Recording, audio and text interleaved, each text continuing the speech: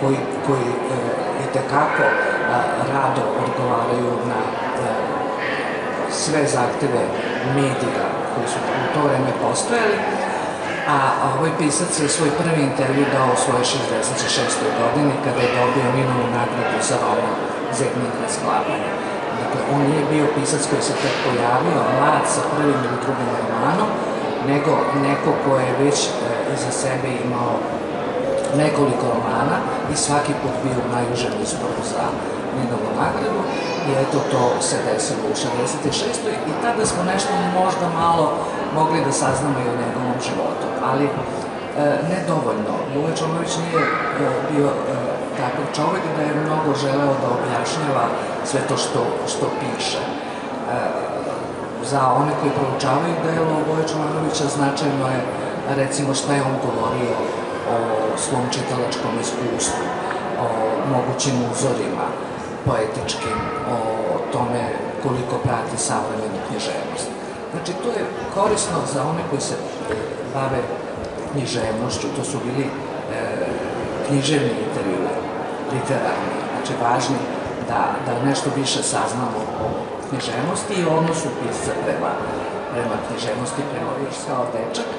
I očigledno, kažem, postojala je tu ta spisateljska ambicija, u stvari može da se kaže da se pisac rađao tih godina, 41. druge, treće, četvrte, jer vi vidite da on ima potrebu da e, sasvim svesno literarizuje, čak fikcionalizuje neke delove, e, ima potrebu da ispriča e, neku zanimljivu priču, da u nekoliko poteza prikaže lik, situaciju, gdje iako interesuju i nauka i umetnost, da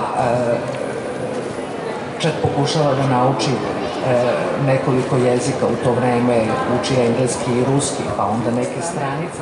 Ovi dnevnički zapisi zaista jesu zanimljivi za svakog ko se bavi e, poetikom Voja Čovanovića, njegovom prozom, želi da je tumači, pa tu onda može naći čitave delove koji su kasnije utkani u neke pripovetke ili neke motive koji su se kasnije razvili u pripovetkama i romanima A za one koji interesuje istoriju, o tome će Nataša Milićević, koja je na institutu za noviju istoriju, a, to je inače isto važno da, da znamo koliko, je, koliko su dnevnici važan dokument za našu istoriju i za historiografiju. E, imate jako mnogo podataka o tome e, kako, kako je funkcionisalo društvo u to vreme. Naročito da kako se bavi E, svakodnevicom u tako nekim e, kriznim ili teškim vremenima. Ima, ima mnogo materijala da se e, sazna nešto više o tome kako je jedna prosečna građanska porodica opstajala u tome. Gde zapravo imate junaka, naratora, koji e, čak razmišlja o samoubistvu. Tek kasnije ćemo mi saznati da je zapravo to nešto što je potpuno autobiografsko, da je Voja Čolanović e, od silnog, koliko je bio izložen maltretiranju u tom rudniku, da je mislio najozbiljnije da skonča, mislim da konča svoj život, ali kaže, to, tu ga je spasao Mića Popović, njegov prijatelj iz gimnazijskih dana.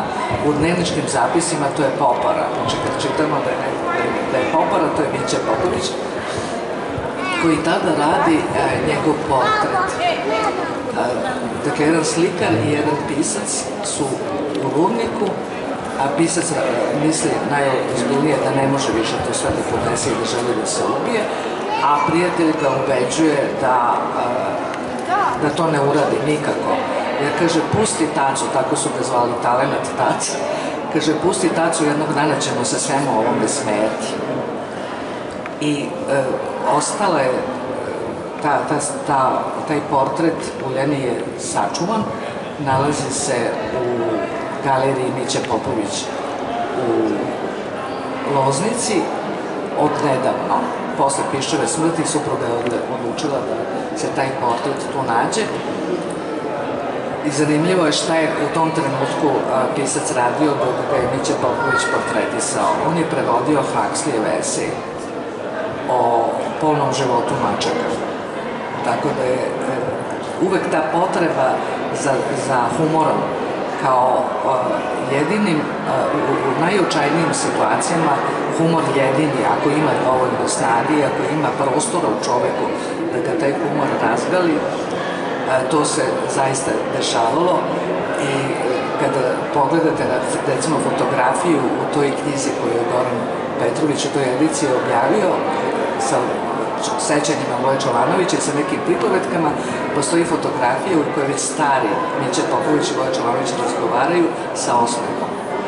To je nešto što im je pomoglo da prebrode sve te dane. Tako da ova knjiga može da se čita i kao uzbudljivi roman o tome kako preživeti najučajnije trenutke i u stvari misliti na tu potrebu za vedrinom, za stvaralaštvom i za smehom.